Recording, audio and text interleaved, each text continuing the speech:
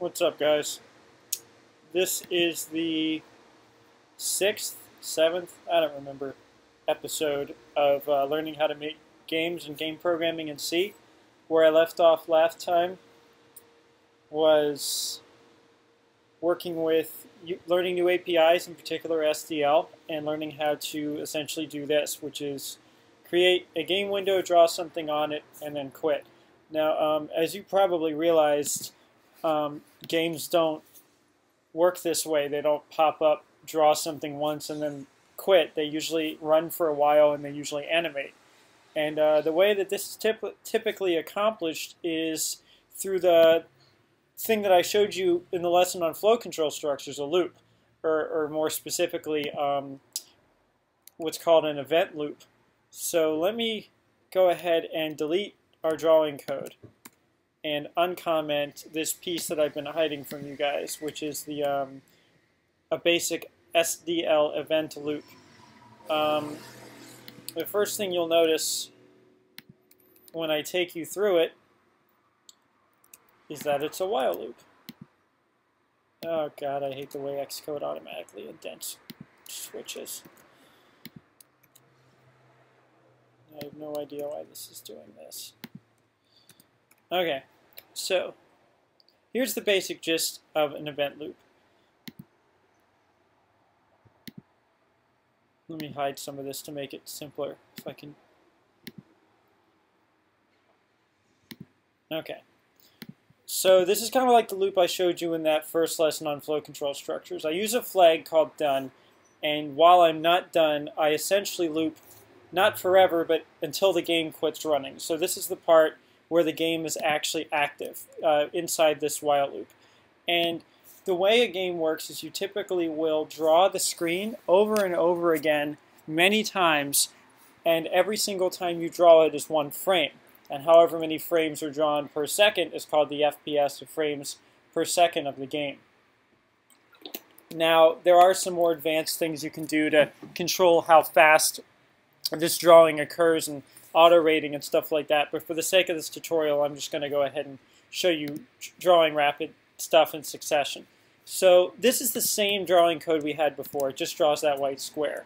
Uh, the major difference is now if I was to run this, it runs until I quit out of the program or until I hit the escape key. Uh, so this is the part you're familiar with. This is the drawing part. Like I said, I start out with setting uh, some colors. I clear the screen, draw one thing. Well, first I yeah I clear I draw one thing, which is a, a rectangle, and then I present the the, the drawing to the screen or, or um, signal that I'm finished with the draw so that the what I've drawn can show up. Um, this piece here that I've closed is kind of the actual event processing of the event loop. Um, there's a new API call in here called SDL poll event. And what this basically does is will return true if there is an event waiting to be processed. Otherwise, we'll immediately return false. So this while loop will process events. This is an inner while loop. This, this does not run for a very long time, probably a few times at most per frame. Um, this will process all the events waiting in the event system and then return them to us. Uh, this is passed by non-constant reference, this SDL event struct. And but what, when this function returns, the struct will contain um, the type of event and then data specific to the event. And the events that we're processing uh, for this game, this particular uh, tutorial, are the window close event, in which case I destroy the window and um, should be quitting out as well. Uh, key down is another event uh, when the user presses a key on the keyboard. And I just check to see if the escape key has been pressed, and if it is, I quit out. And then, of course, SDL quit, which um, is kind of ran when, I think when I hit the, the close window, this also runs. It's probably why I was quitting out. And uh, that's event processing. There's a ton of stuff you can capture in here. Um, as a matter of fact, this is so complicated, or, or I should say complex, you typically wouldn't want to put code like this inside your event loop because um, your main function, let alone your um, event loop, will just get to be too hard to read. So we're going to pull that out right now, we're going to call this a new function just called process events. And that'll make it a hell of a lot easier on us uh, to write our game loop without getting caught up in um, complexity. So I'm just going to move this stuff. I'm just going to cut, call the function, and paste it up here. Now our event processing is handled outside of the main loop. And you can immediately see how much cleaner this is. Um, now you're probably like saying, well, wait a second, there's a bunch of errors up there. And that's very true. Um, it's because there are some variables from main that this thing doesn't have access to. Um, a common thing that people will do in C is they will go ahead and declare these variables as global. Um, that sucks because global variables are bad programming practice and they're a way to get very disorganized very quickly. So what I'm going to do is pass them in as an argument. Um, we have a window, which is passed in by reference. It's very important. Pointer denoting reference. Like I said, I'm going to cover pointers in a later lesson, uh, more advanced pointer stuff, but just for now, know that's a reference. And I can pass window in. It takes care of the errors saying we don't have a window. But done. Um, well, let's just go ahead and make that a return value. So we're not done by default, but if we set done to true, we are done. And now what we can do is we can say if process events returns the value that would have said we're done, done is 1. Or if I want to be lazy and not have if statements in there, I can just do this. But if I want to set done at other times, this could be kind of not optimal. But I'm going to go ahead and do this. Run it, exact same situation, much cleaner event loop. Um, I think you can guess what's going to happen next. I'm going to kill you now! I'm going to take the drawing code and pull that out into a function as well. So let's have another function. See which ones I have up here. So void to render. I'm going to go ahead. I know I'm going to need the renderer, so I'm just going to pass it. And there's the renderer. Now I can take all of this stuff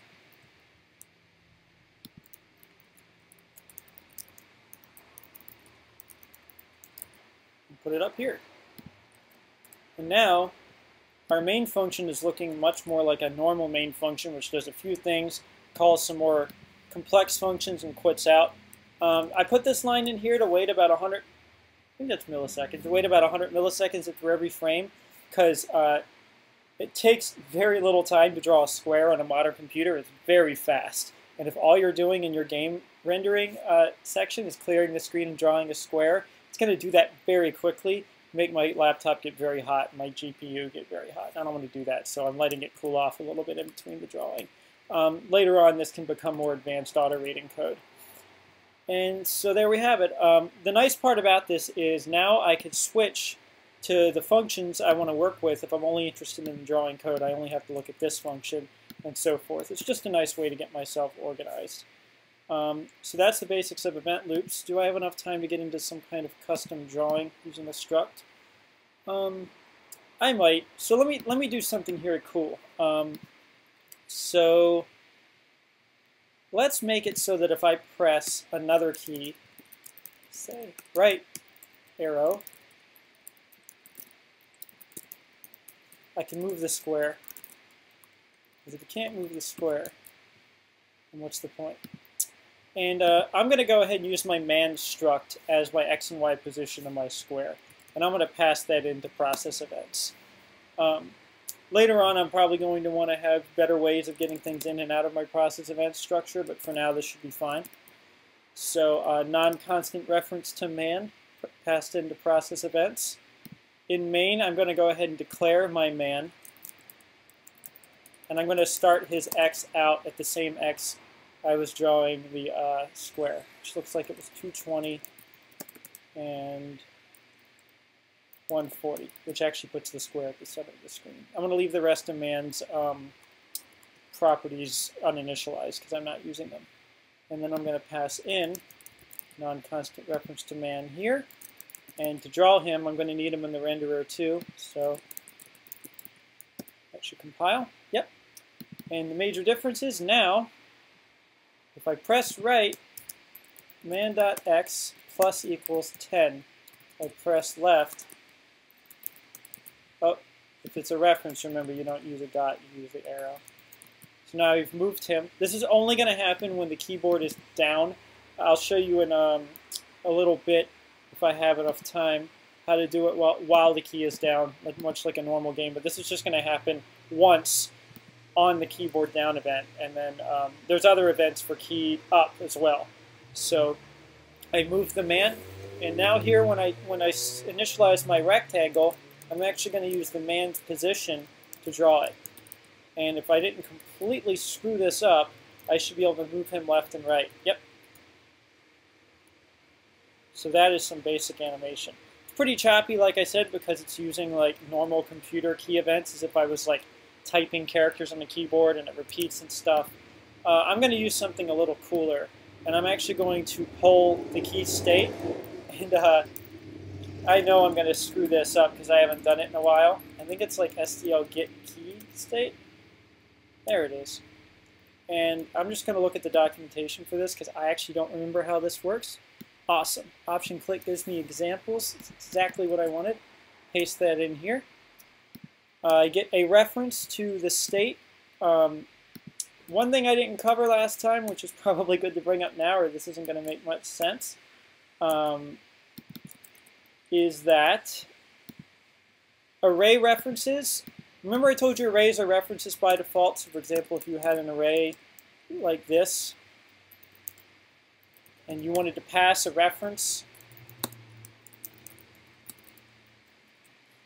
an array reference as a function, you would do something like this. Actually, I don't think this is going to work. Well, if you were passing it into a function, it would look like that. Um, it's interesting to say that arrays, when they're passed into functions, are references by default, and therefore they have the exact same notation as a pointer reference. Um, and that's the reason why they're able to actually give us a pointer to, this is an array, is what I'm saying. State is actually an array.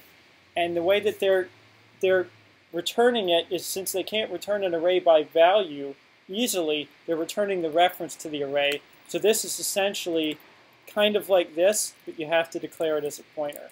Um, that's kind of what I was going to say. And I know that's confusing, and I'll explain a little better when I get at the tutorial talking about um, pointers, advanced pointers. So the way this works is that if this if statement will be true when this function is called. Remember, it's being called once per frame, called continuously. Um, during this code execution, if the, the key that you're interested in is down at all, it will be true for this whole frame. And the cool thing here is that you can use left and continuously see if the left key is down, and then you could use this to accomplish much more fluid animations. So now I could probably just do minus minus, because remember this is being ran probably close to hundreds of times per second, at least 60 frames a second. So instead of using this event-based stuff, which is still useful, like if you want to see if you've hit escape or keys that move menu options up and down, things you don't want continuously running, you use the code for the key down event. But the continuous stuff you can put here. Now when I run this, I'm going to make this a lot more again.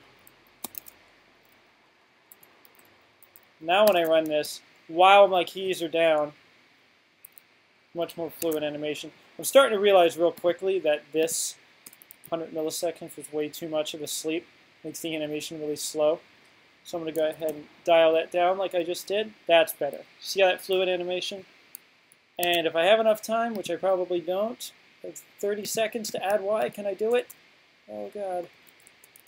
Quickly. I'm going to have to edit this video.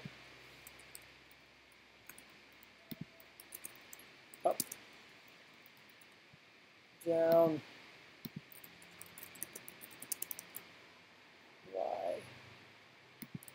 do it. Got it. All right, thanks for watching, guys. I'll show you more next time. Bye.